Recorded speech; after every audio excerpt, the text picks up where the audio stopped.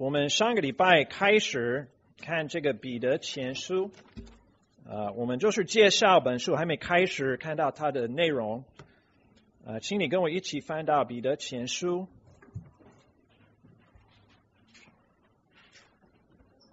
我们在今天开始，我们看第一、第二节，第一章第一、第二节。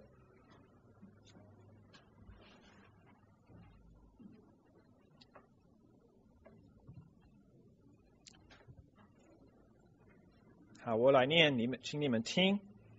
耶稣基督的使徒彼得写信给那分散在本都、加拉太、加帕多加、亚细亚、比推尼寄寄居的，就是叫父神的先见被拣选，借着圣灵得称圣洁，以致顺服耶稣基督，又蒙他血所所杀的人。愿恩惠平安多多的加给你们。我们先祷告，我们的天父，我们感谢你，呃，我们是梦你拣选的，呃，得梦成就，呃，得救的一的一个百姓。我们今天感谢你。我们在主里面，就是有大大的盼望，将要得到你的荣耀。我们求你帮我们，可以明白，从这个彼得前书，呃，你教导我们，你劝勉我们，要我们准备好，呃，可以受苦，跟你一起经过苦难而将来得荣耀。呃，也求你用。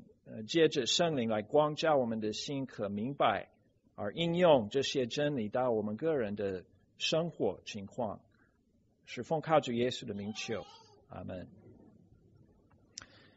那基督徒要受苦，不是我们很乐意来听到的一个消息。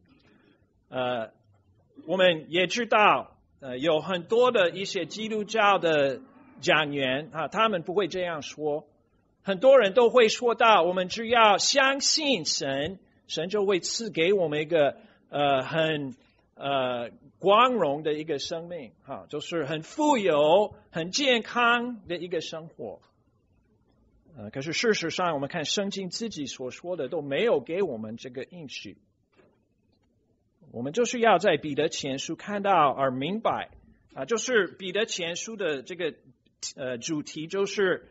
呃，当你为主受苦的时候，要在恩典上站立的稳，因为盼望荣耀啊。所以，这是我们要呃更清楚明白这个彼得前书的这个题目啊。我们上个礼拜已经开始看到，就是要有要追随三个线索来帮我们明白这个主题啊。上个礼拜我们已经有看到有彼得前书所用的一些词汇。还有一些题目，我们已经有看过了，都来支持我们明白彼得前书有这个意思。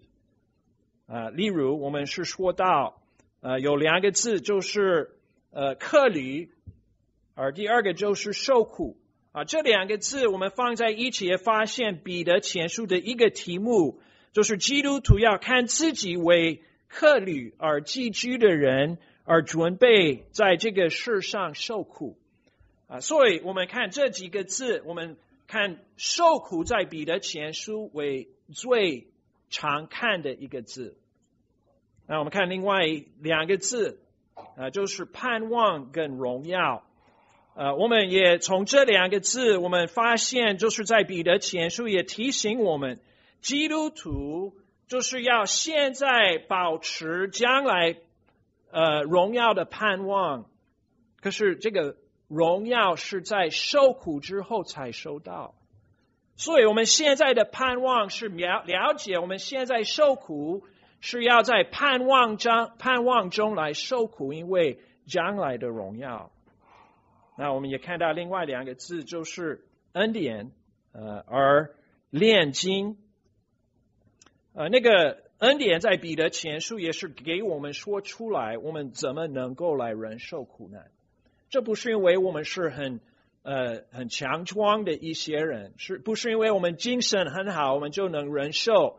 不是，是因为我们靠着主的恩典，而且我们也看到神在他的恩典中是带来这个苦难，在我们的生命中是有原因的，就是这个受苦的功能，在基督徒的生命中就是炼金我们的信心，帮我们可以成长在主里面，而将来就可以得荣耀。所以我们就是在这些题目，而且这个不是全部。我们在经过本书，我们也会提到有另外一些重要的字，呃，常常会出现，呃，而帮我们呃呃明白这个这个主题。那我们今天也要从另外一个线索来追随，啊，我们就已经看到这些呃呃题目，经过彼得前书的题目，那。我们就是从那个第五章第十节也可以看到全书的主题经文是什么。第五章第十节，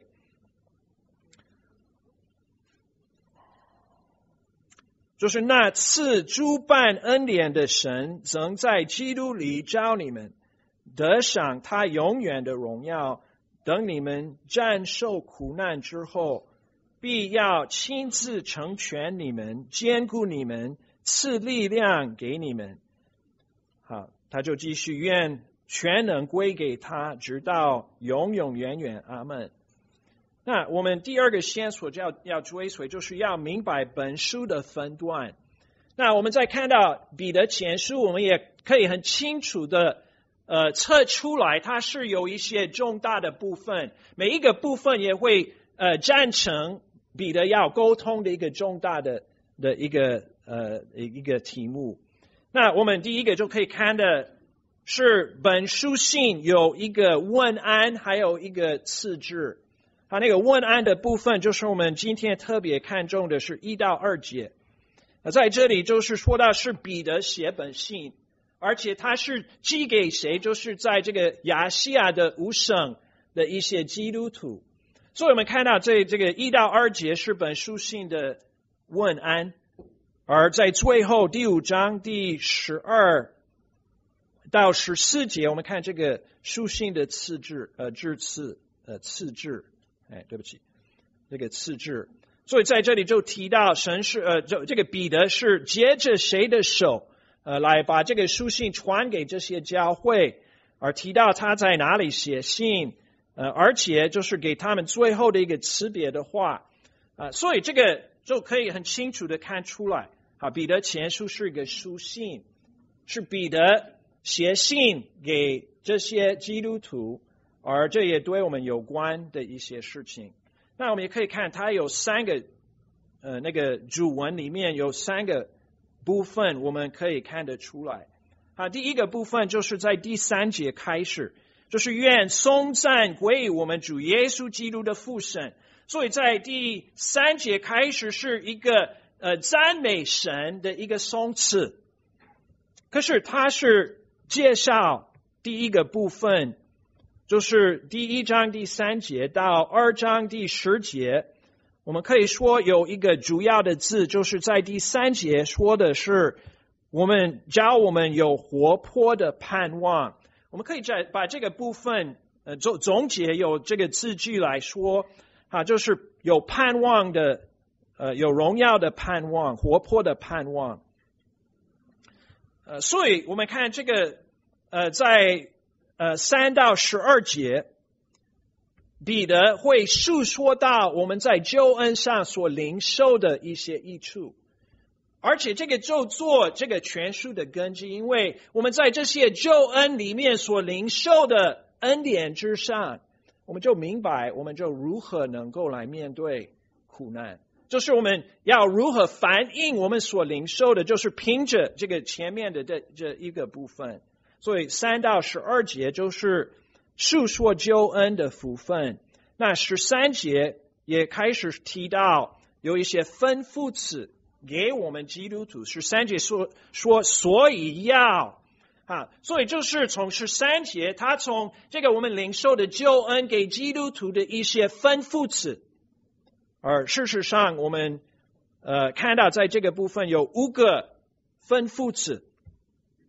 呃，第一个在十三节是盼望，第二个在十五节是要圣洁，第三个在十七节是当度呃寄居的日子，啊，就是有敬畏的心来呃来度过我们的日子。第四个字就是在第二十二节，就是彼此切实相爱，而第五个在第二章第二节。要爱慕那纯净的灵奶，所以这个部分就是从十三节到二章三节，我们看到我们如何反映主恩，呃，在我们的生活中，呃，而且在第四节第二章第四节，他就继续提到我们基督徒为神的百姓的身份，呃，所以从第四节到第十节。呃，他提到我们基督徒的这个身份，我们为神的百姓有什么特色啊？所以这个就是呃呃一章三节三节到二章十节，我们可以说这是活泼的盼望，活泼的盼望。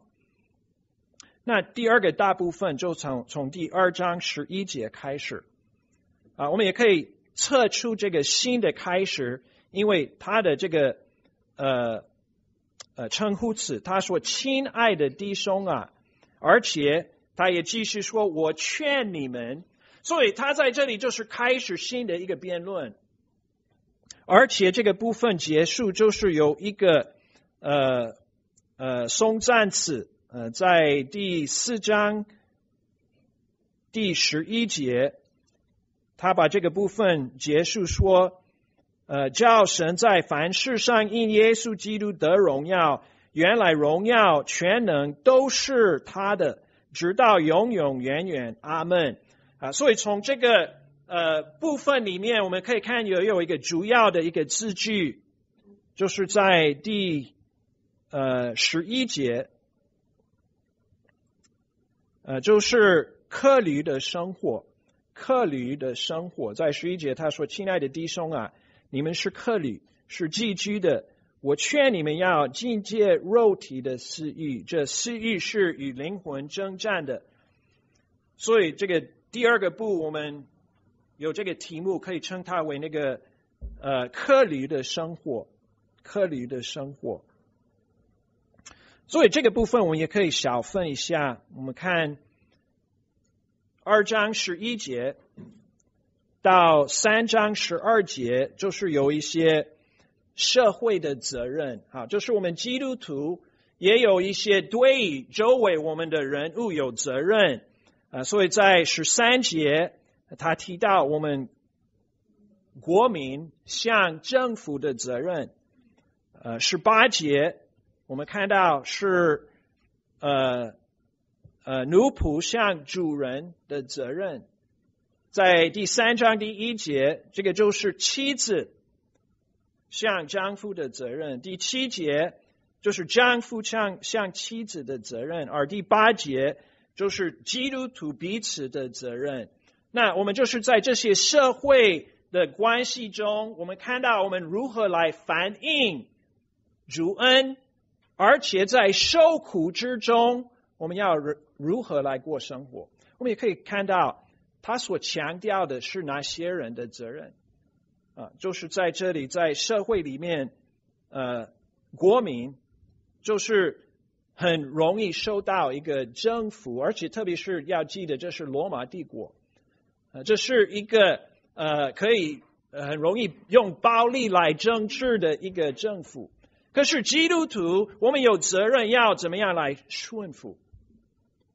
所以我们看到，呃，这是有。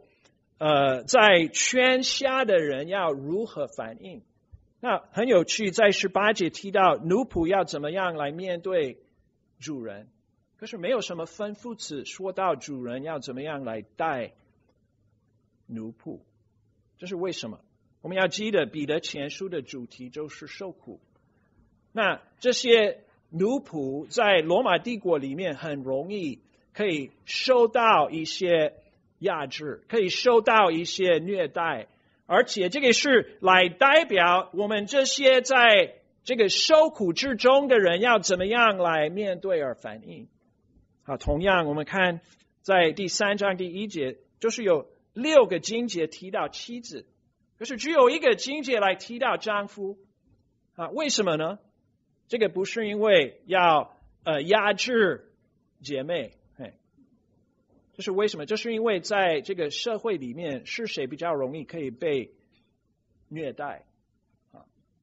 就是这些妻子比较容易在一个呃暴力的丈夫呃圈下，或者一个呃呃一个恶心的一个丈夫的圈下而受苦，所以彼得也是特别来提到这个必要。所以，我们就可以明白为什么他在这个社会的责任里面呢，他来提到呃这些事情。那就从第十三节三章十三节到三章二十二节，他就直接告诉所有的基督徒如何来面对受苦，而特别是面对为主的名而受苦。啊，所以呃呃呃。就是提到我们基督徒是在呃这个世界上，呃呃一定会面对一些苦难，所以他在这里就清楚的来提到我们要如何来面对。就从第四章第一节到第十一节，呃，他也是提到呃我们新生活的一个样式。我们虽然在受苦里面，我们还是有一些新生活的必要啊。所以他在呃一到六节提到我们要否认世俗的生活，而在七到十一节提到我们在呃教会的生活中要彼此服侍。所以这个中间的这个部分，我们可以短说是克里的生活，克里的生活。那我们看第三个大的部分，就从四章十二节开始。而从这里，我们也可以看有一个字句帮我们可以总结，就是活炼的试验啊。十二节说：“亲爱的弟兄啊，有活炼的试验临到你们，不要以为奇怪啊。”所以我们看到，就是有这个称呼词，就是“亲爱的弟兄”啊，就开始新的呃这个部分。而且也有一个松赞词，也结束在五章十一节，愿全能归给他，直到永永远远，阿门。呃，所以在这个呃呃最后的部分，呃，他也是呃呃鼓励基督徒在受苦之中的生活，呃，要如何来反应？所以呃，他在呃四章十二节到十九节。呃呃，他在这里就是提到我们受苦是被神炼金，呃，受这个审判，而我们要明白这个审判不是指神跟我们很生气，或者我们犯了大罪啊，不是这个审判是代表神是接着他的这个呃所容许在我们生命中的苦难啊，他就炼金我们的生命。而在第五第五章，呃呃一到呃十一节，我们也呃可以看到，就是在呃呃我们的教会的生活中，呃我们如何可以防备呃被这个呃苦难啊所胜过啊？所以他提到呃一到。四节就是牧师的责任，呃，五到六节就是在教会的弟兄姐妹的责任，还有在最后就是面对魔鬼的这个控制呃的的攻击呃的一个呃的一个必要。所以我们就是可以看本书的这个呃分段。呃，我们也可以，我们会就是一步一步来看到它的内容，呃，也是支持呃我们所提到的这个主题啊，就是当你为主受苦，呃，要在恩典上站立的文，因为荣耀的盼望。所以这个就带领我们到那个最后，我们就呃回到第一章第一节，我们就要看本书的问安，也来支持这个主题。我们就从第一节看到，就是耶稣基督的使徒彼得写信给那分散在本都、加拉太、加普达加、多加、呃亚细亚、呃比推尼寄居的。我们第一个就是要注意到，这个呃写信的人就是彼得，是使徒彼得。彼得就是耶稣的一个呃早期来。跟随他的一个门徒，我们要记得，在约翰福音，我们可能时间不够，可以翻到那里。呃，就是在约翰福音第一章，有西门彼得的兄弟安德烈，他是先跟随施浸约翰，施浸约翰是指着耶稣说：“看那神的羔羊，除去世人罪孽的。”结果安德烈跟约翰。他们都是离开世纪约翰而做耶稣基督的门徒，结果安德烈第一个就出去找到他的哥哥彼得，带到耶稣的面前。啊，耶稣一看到彼得就说一句话：“你是基法。”那个基法是很有趣，基法是亚兰文的一个名字，意思是石头，所以希腊文翻过来就是彼得。所以神称他为激发，而我们看到在福音书里面也是把彼得拣选当做十二徒使徒中的呃的一个的一个使徒，呃，所以这十二使徒是耶稣特殊所拣选，被耶稣所差派要当做他复活的见证，呃，所以。彼得在这里就是说到，耶稣基督的使徒彼得写信，是代表他是有这个权柄，就是神自己，耶稣基督自己给他的权柄，而他是对了这些教会说话，是靠着主所给他的这个权柄，要鼓励他们。我们已经有看到，在这两个分段开始的时候，就彼得会直接说到劝你们，劝你们，那个。劝的这些话是彼得看出来有这些教会所面对的一些苦难，真的需要从主而来的一个带权柄的话，可以鼓励帮助他们。这也是我们需要的。当我们受苦的时候，我们怎么面对？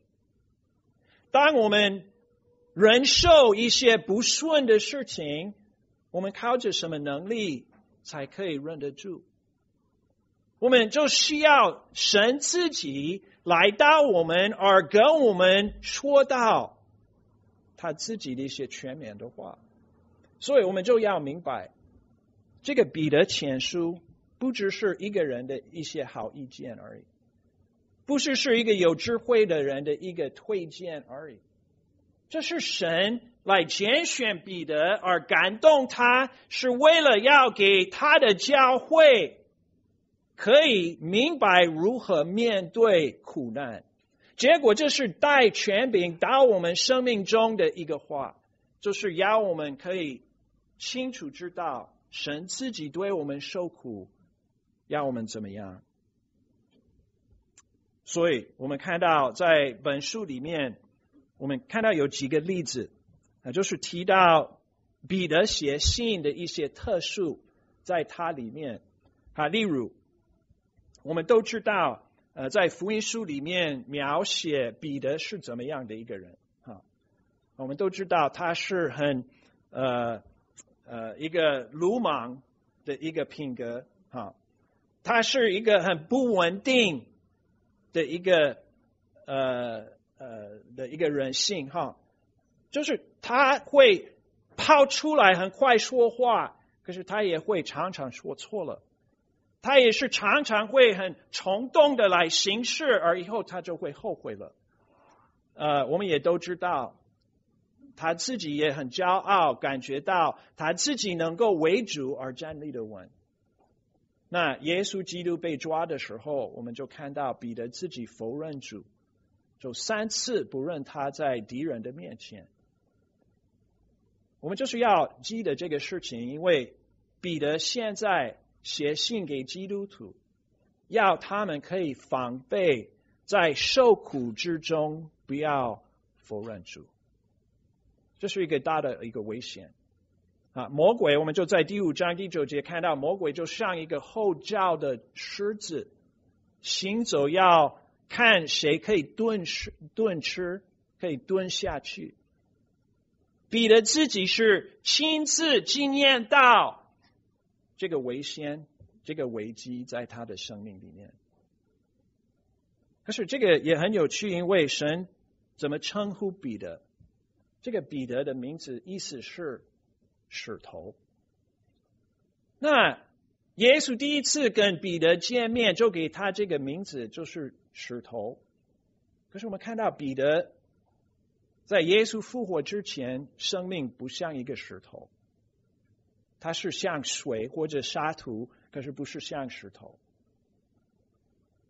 可是我们看到，耶稣基督也在呃，你记得在呃呃有一次呃，耶稣问门徒：“人说我是谁？”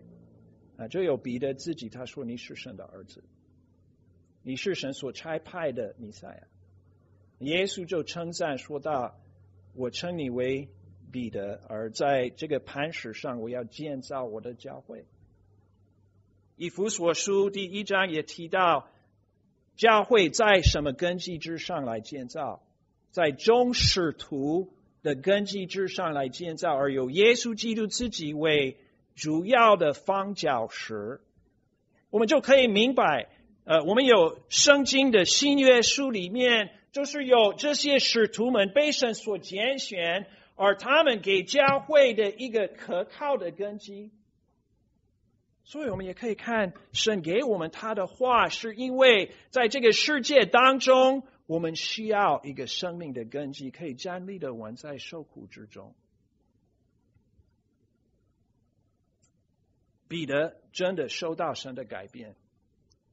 他就真的变成在品格上一个石头，就是一个可靠、神可用的一个领导，在建造他的教会的时候，我们就在彼得前书第二章，我们看到彼得也用这个呃呃例子来诉说到教会是什么，就是有耶稣基督是一个活石、活泼的石头。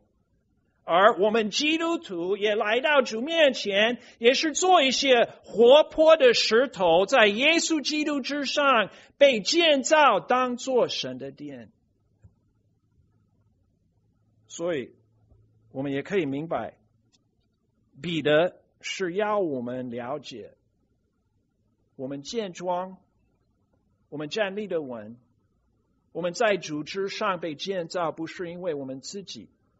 是因为主耶稣基督而圣灵所带来给我们的恩典，结果我们就看到，我们都可以变成石头。相比的，神改变他，我们也可以变，可以变成坚固而受苦难的时候来稳定的一个百姓。那另外一个地方，我们也看到彼得的特色，在这个书里面。在第五章第一节，你可以注意到，我这做长老、做基督受苦的见证，同赏后来所要显现之荣耀的，劝你们中间与我同做长老的人。那第一个字就是我，彼得是用第一人的代名词来直接来。以他自己的身份来劝教会的一些领导，而他给他们的第一个吩咐词是什么？就是第二节勿要牧养在你们中间神的群羊。这个也是可以看出来彼得自己的特殊特色，因为我们要记得，彼得以前也不认主的时候，他就。心里，呃，呃受感动，被定有罪，他出去而哭哭，因为他否认主。就是在那个事情之上，我们也可以看得出来，神如何使他复兴他的这个使徒的职位，在加利利海边，耶稣复活之后，耶稣就问彼得三次这个问题：“彼得，你爱我吗？”而我们看到。彼得说：“哦，主，你知道我爱你。”耶稣给他一个，就是重复三次来提到，给他一个吩咐。这一个吩咐是什么？牧养我的羊，喂养我的羊。在这里，我们看到彼得自己学会而学到神给他的这个重大的责任。所以彼得是说：“我这个人，哈。”就是我这以前否认主，可是神也是重新赦免我，而重新给我这个职位。我就是跟你们说的是主跟我说的一样，你们要牧养神的羊群。所以，我们就在这里看到彼得自己是做本书的这个作者，呃，是因为。神用他要鼓励教会明白如何面对苦难。那我们也可以看到本书的背景，就是我们需要考虑到，若是这是彼得写书信，他从哪里写本书？我们在第五章第十三节可以看到他写书信的地点。是在巴比伦。他说，在巴比伦与你们同梦拣选的教会问你们安。所以，这是彼得在巴比伦写信给这些教会。而这个巴比伦有两个可能的的解释法啊。第一个就是面上我们最可能考虑，可能是它是由法拉利河的巴比伦城。这个。呃，就是我们若是按着面上，我们就会这样来看。可是我们也可以考虑到有一些疑问关于这个。呃，事实上，呃，一些古老的历史书也提到，在那个幼发拉底河的巴比伦城，真的有犹太人的一个呃，这么讲一个殖民地。可是问题是。在早期教会的很多记录，啊，你知道我们有很多这个教父的一些记录，就是第二、第三、第四世纪的一些教会的领导，他们都会写书信，他们都会写书，而在他们的这些记录里面，没有一个来是彼得的名字与幼发拉底河的城市连接。而且他们有另外，就是早期的这些人有另外一个观念，他们通通都是以这个巴比伦为罗马城的意思。啊，另外一个我们看到就是有希拉啊，我们看五章十二十三节，呃，就提到跟彼得同在的这两位就是马可跟希拉，而这些人不是摩摩名呃的一些。呃，陌生的一些人，呃，他们都是在圣经其他的地方常常看见的人。呃，那个马可，他原来是巴拿巴的侄儿，被他跟保罗带去传福音，而结果马可就是半路上回想家就回去了。呃，保罗就推辞他，不要他再跟他们一起去。可是巴拿巴。就是带着马可去呃塞浦路斯，而结果以后，呃保罗也承认这个马可是对我有用的，他是服侍神的一个人。而且我们看到都没有任何什么早期的教会提到马可在巴比伦，可是我们看圣经自己有几个地方，呃就提到马可在哪里？马可在罗马城。呃，在提摩太，呃，我记一下，提摩太后书四章十一节，保罗呃快要死的时候，他也提到要把马可带到我这里来，因为他对我我用的。那个希拉，他也是代替巴拿巴做保罗的一个同伴。可是他原来从哪里来？他是从耶路撒冷教会而出来的一个领导，就是呃耶路撒冷的教会差派他到安提亚，要带那个教会大会的一些呃一些决定决定哈啊，就是可以传说给呃那个。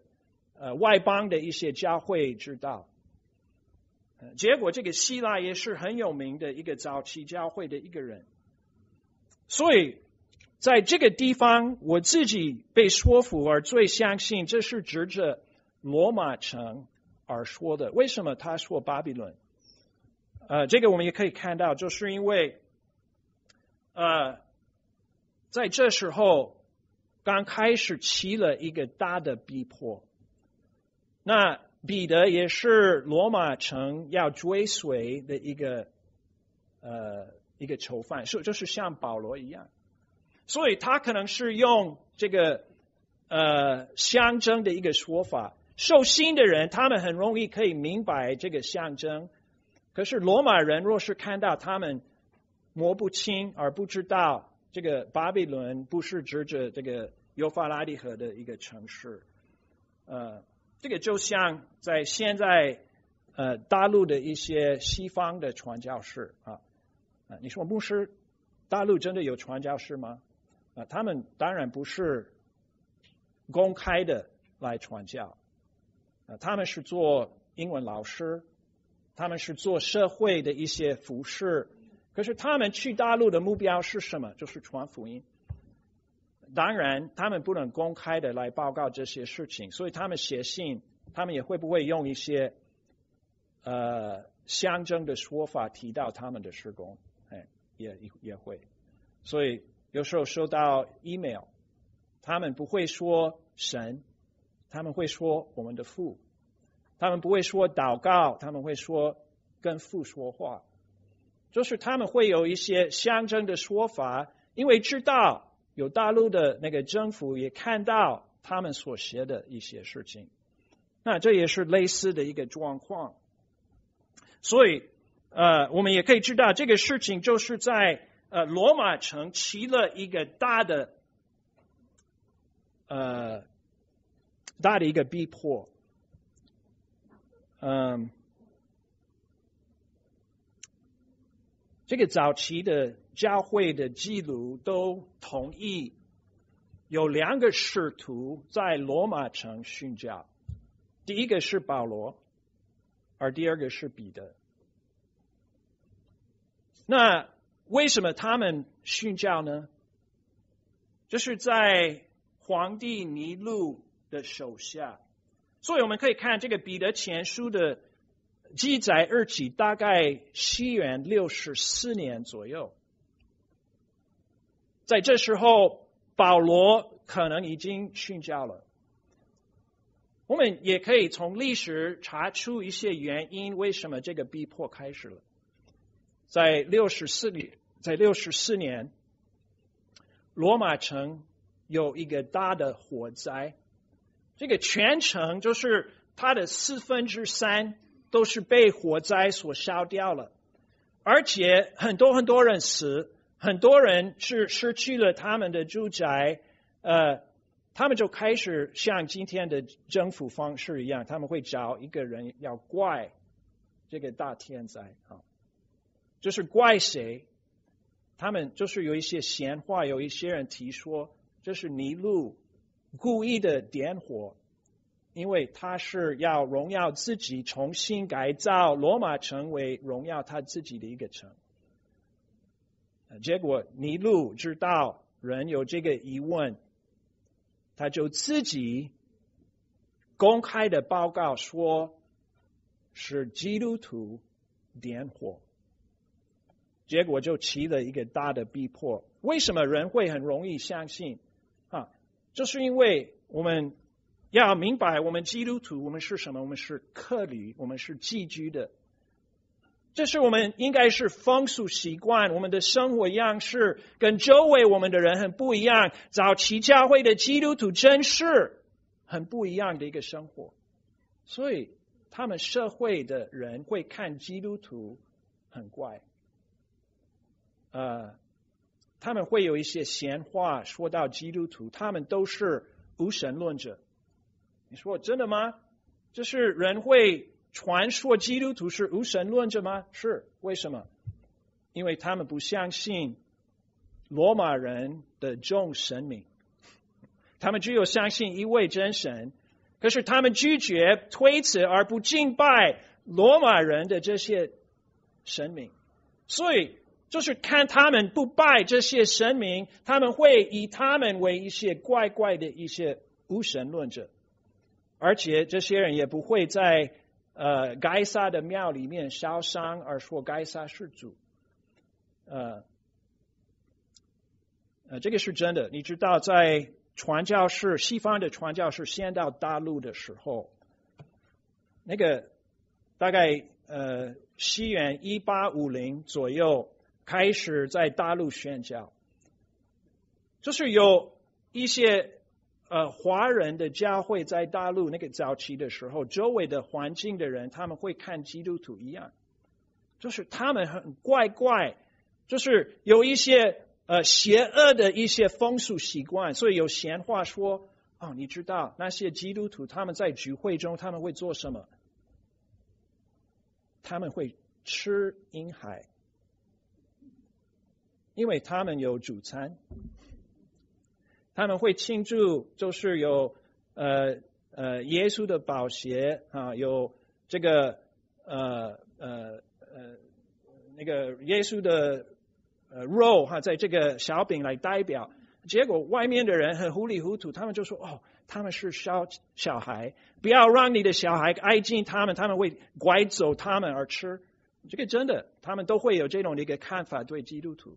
那在这个罗马城。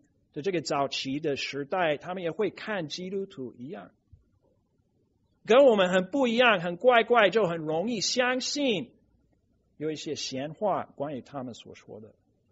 所以尼禄他报告说，这个点火的就是基督徒，他们是恨恶人类的一个群众。结果就是他们会抓住很多的基督徒，呃。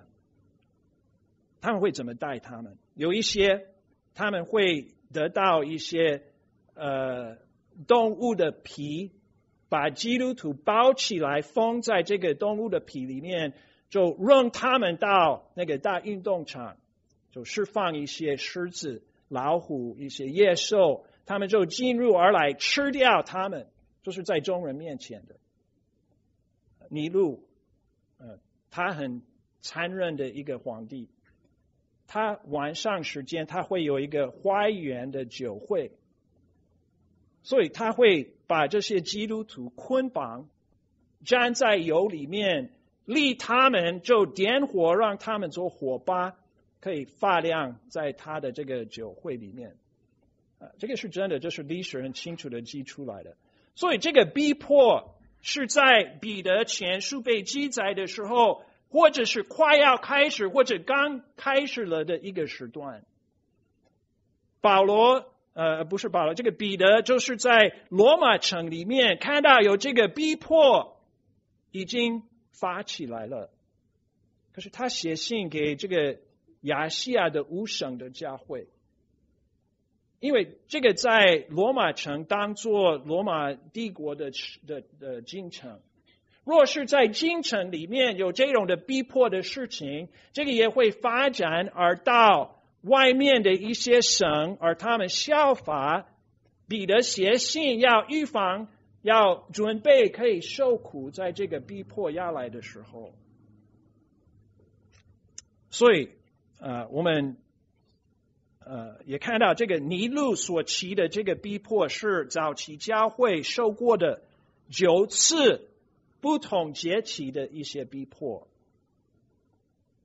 那我们也可以看到这个受信的人，所以这个提到这五个省，就是呃本都、加拉泰、呃加帕多加、亚细亚、比推尼，啊，这是他们呃呃是怎么样的人，就提到他们的地理位置。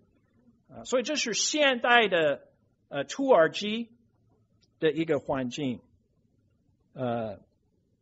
呃，这个顺序，若是有一个邮差把这个信带来，他会经过这五个省带这个书信给他们，呃，一个一个的可以来听，呃，这个信息。啊，我们也看到在第五章十二节也提到是带着，呃，就是这个希拉当做这个邮差，是彼得差派他把这个书信带到这里，而传扬给他们。可是我们要明白这些人是谁，我们要先看到他们个人的身份。有三个字，在这个第一、第二节，他们都是分开来的。可是，在原文里面，他们都是在一起。第一个就是分散，第二个字就是寄居，而第三个就是拣选、被拣选。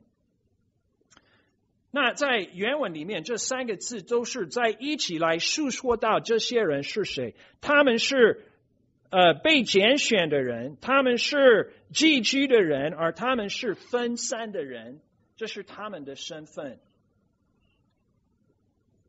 我们需要明白，呃，这个被拣选是代表神是把他们选择为得救恩的一个百姓。这个是新约里面常常来提到，我们基督徒就知道神是在呃创造大宇宙之前，他已经有拣选他要拯救的人，所以保呃彼得在这里也是通知这些百姓：你们现在虽然要受苦，你们可以明白，这是跟你们的被神所拣选的身份有关的一个事情。你不要以为怪哈，因为你是被神拣选就出来这个邪恶的一个时代，你就是跟这个百姓有不一样。我们要明白这个被拣选的道理，我们不要变成一个神学辩论的一个题目，因为原来这个道理的目标在圣经里面都是一个安慰神百姓。的一个话啊，是谁是被拣选？我们能不能知道有一个人是被拣选的人啊？从我们的观点，只有一个方法，我们才知道人是被拣选，是因为他们相信主耶稣而活出来一个荣耀神的生命。我们看到这个效果，我们就知道这个人是神所拣选拯救的一个人。那就是我们每一个人也可以知道，我是相信主耶稣的人，而这个是神早已认识而拣选我的一个结果。那我们看到第一个就是这个被拣选的，第二个字就是呃寄居的，这是代表一些外族暂时住在一个外国里面。这是我们以前有介绍过的一个字。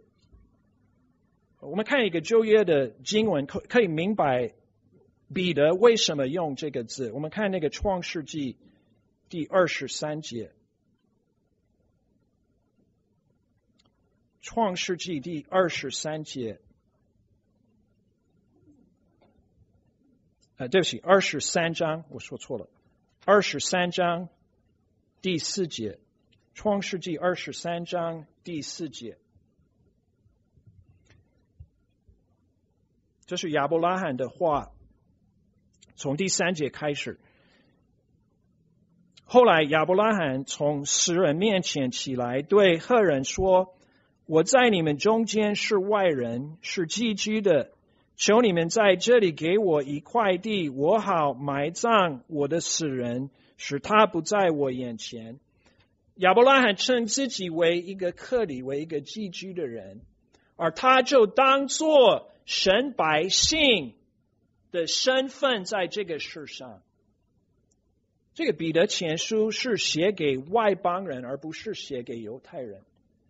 我们在这里可以明白，我们都当做亚伯拉罕因信心的的后裔，我们就自己是在信心事呃的事上来跟随亚伯拉罕的榜样，而做一个客旅、一个寄居的百姓。可是这个也是跟另外一个事情有关。就是我们看到以色列人，因为他们得罪神，他们就被迁到那里，就被迁到巴比伦。而且在这时候，犹太人也是被分散在世界，就是中东的世界各地方而去。结果犹太人就从那时候就变成一个客旅跟寄居的。所以这是为什么彼得在这里也是提到我们基督徒的生活就是这种的一个生活，就是像以前犹太人被分散在世界各地方，现在基督徒也是神所分散在世界的他自己的百姓。所以这个分散的字也是一个专用词，原来是用呃说到犹太人在。呃，迁到巴比伦之后被分散的一个事啊，在雅各书第一章第一节，你可以看一下雅各书第一章第一节，用这个字也是有这个专用的意思。做神和主耶稣基督仆人的雅各，请三住十二个支派之人的安。好，我们要记得雅各书是早期。就是更早的早期教会，在这时候外邦人还没有进入教会的时候所写的一本书。雅各是真的对一些呃犹太人而寄信啊，这是信主耶稣的犹太人寄信。可是，在彼得前书，这个不是指犹太人的话，这是指外邦人，就是信主耶稣基督的犹太人和外邦人在一个教会呃。呃，聚合，我们就看一些例子。嗯，我们看《使徒行传》第八章，《使徒行传》第八章，我们要记得早期教会为什么分散了，是因为逼迫的原因。我们看那个《使徒行传》第八章第一节。从这是从这日起，这个是斯提反训教的事。从这日起，耶路撒冷的教会大造逼迫，除了使徒以外，门徒都分散在犹太和撒玛利亚各处。呃，所以我们看到，为什么早期教会被分散，是因为逼迫的原因。你看第四节。那些分散的人住各处去，呃，往各各处去传道。所以这些被分散的基督徒，他们做什么？他们就传福音。呃，我们也可以看到，这个基督徒的分散，也是我们被分散在邦国里面，也当做一个客旅、一个寄居的，是为主耶稣基督而做一个见证。那也可以看第十一章《使徒行传》第十一章十九节。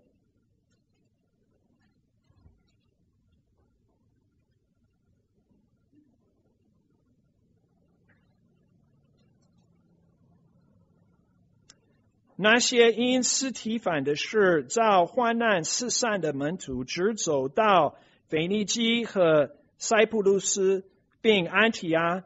他们不向别人，呃，他们不向别人讲道，只向犹太人讲道。嗯，我们可以继续，可以看那个第二十节。但内中有塞浦路斯和古里奈人，他们到了安提阿，也向希腊人传讲主耶稣。主与他们同在，信而归主的人就很多了。呃。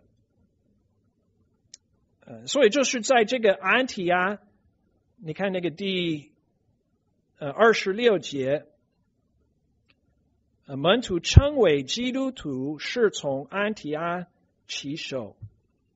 所以，我们看到这个基督徒的分散，就是从安提阿就分散到世界各地方，是他们跟所住的民的风俗习惯、生活样式很不一样，是因为他们与神有新的关系。他们目前是天国的百姓，而结果看自己在。世人当中当做客旅跟寄居的，所以彼得先是提到受信的人他们的这个身份啊，他们是被拣选，他们是寄居的，而他们是被分散的。呃，他也最后在第二节提到他们的属灵的状况，他们属灵的状况就是叫父神的先见被拣选。接着圣灵得成圣洁，以致顺服耶稣基督，又蒙他血所杀的人，愿恩惠平安多多的加给你们。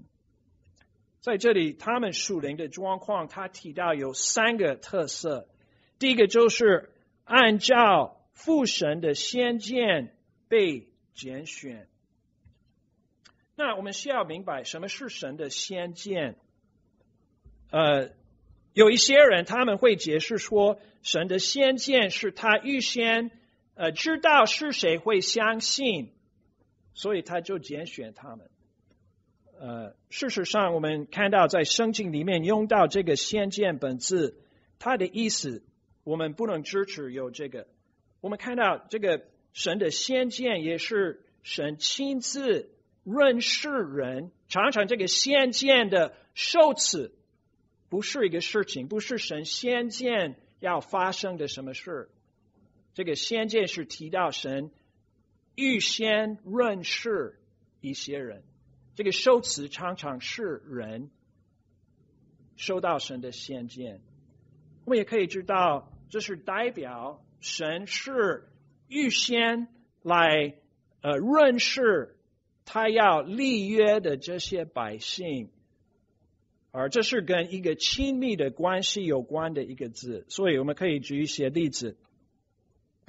呃，我们可以看那个第一章第二十节，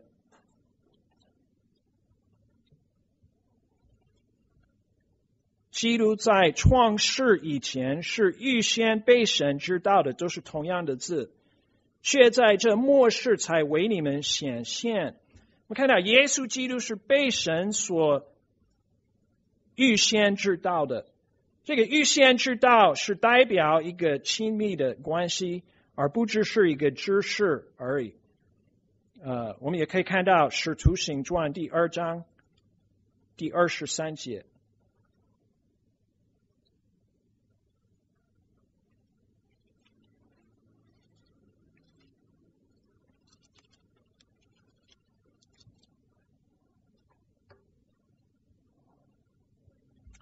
这也是彼得讲道时所说的一句话，提到耶稣二十三节，他就是耶稣，即按着神的定旨先见被召与人，你们就接着无法之人的手，把他钉在十字架上杀了。彼得就是呃呃，就是控告这些犹太人的领导。说到神自己是预先来呃呃安排耶稣要受苦，可是他也提到这些钉他在十字架的人也是自己有责任为他们所做的这些事情。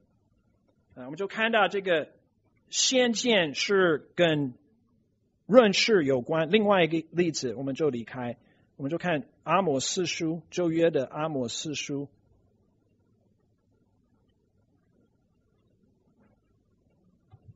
就是在约尔约尔书之后是阿摩斯书第三章第二节，就是耶和华对以色列国的话。阿摩斯书第三章第二节，耶和华说：“在地上万族中，我只认识你们，因此我必追讨你们的一切罪孽。”呃，还有其他的一些经文，经文可是不要花时间在这个。我们就是要知道，我们为什么被拣选，是因为神自己把他的恩典放在我们的身上，是为我们所呃呃认识而要与我们立约的一个一个知识啊的一个意思。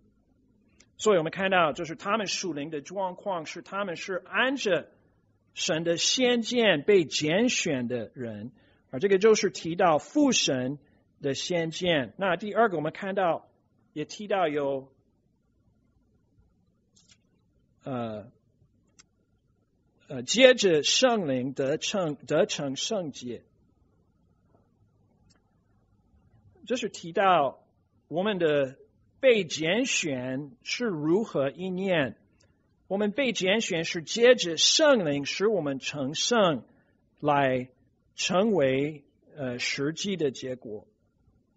那这个成圣的意思是，神在拯救人的时候，他把我们分开来为他自己的荣耀。就是我们被分开来是成圣的意思。所以我们要清楚知道，在这里所说的这个成圣，是指我们得救的时候，神自己所主动而把我们分开来为他自己。的一个行动，而这个就是接着圣灵而做的一个事情，所以我们就看到基督徒是被父神所拣选，是被圣灵成圣了。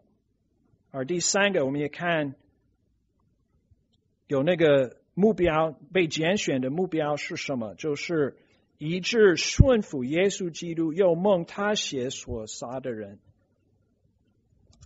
呃，这个顺服耶稣基督，在新约里面，这个顺服有时候有这个幸福的意思。幸福就是代表人是因为相信主耶稣基督就服从他。我们就是在这个事情，我们的顺服不是我们行什么善事，这个信心自己是我们顺服神。而反映神的一个方法，我们就看到神拣选我们的目标是什么？要我们来信服他，来顺服他的一个结果。而且我们因为相信而顺服耶稣基督，那个结果是把他的宝血就洗净我们一切的罪恶。啊，这个。是从出埃及记二十四章三到八节所提到，我们一起翻过去。出埃及记第二十四章，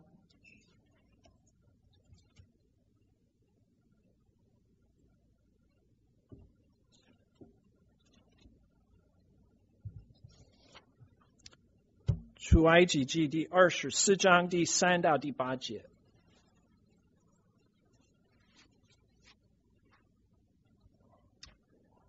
摩西下山，将耶和华的命令典章都述说与百姓听。众百姓齐声说：“耶和华所吩咐的，我们都必遵行。”摩西将耶和华的命令都写上。清早起来，在山下筑一座坛，按以色列十二支派立十二根柱子，又打发以色列人中的小年人去。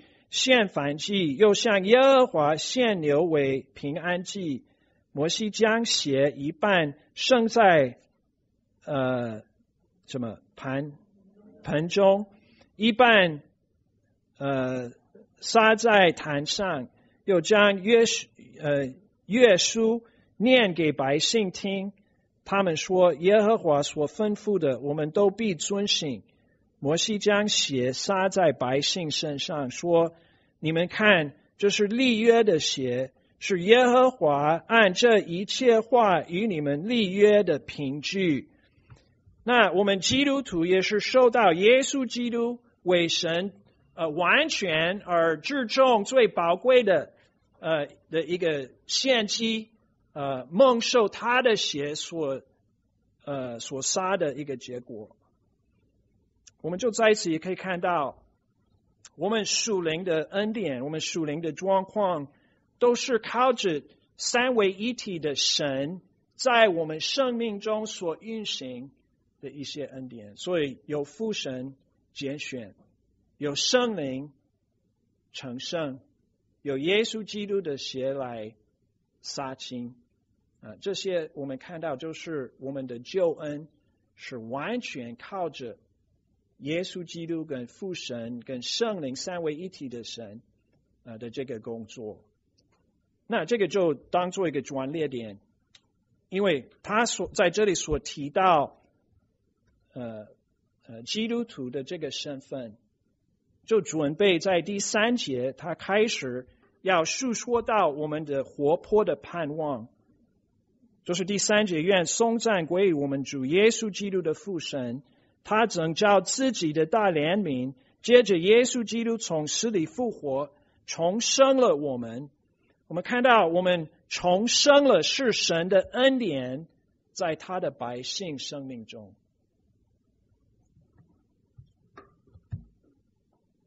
那我们基督徒。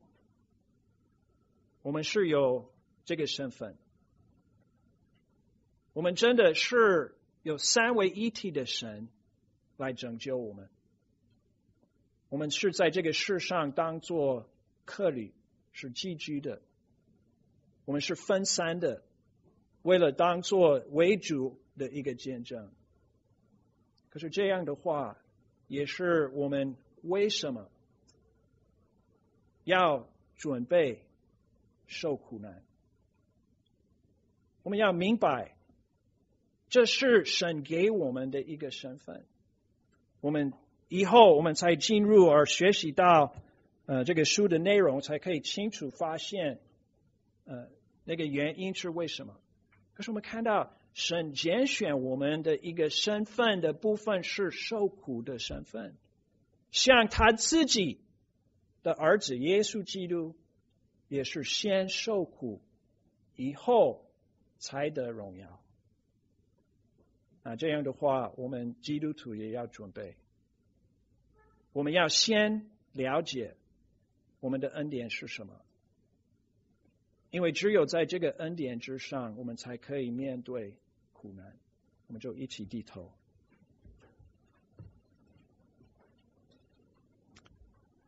我们的天赋，我们。谢谢你拣选我们，接着圣灵使我们重生，也成圣。接着你儿子耶稣基督的宝血，你是洗净我们而使我们得赦免罪。借此我们就。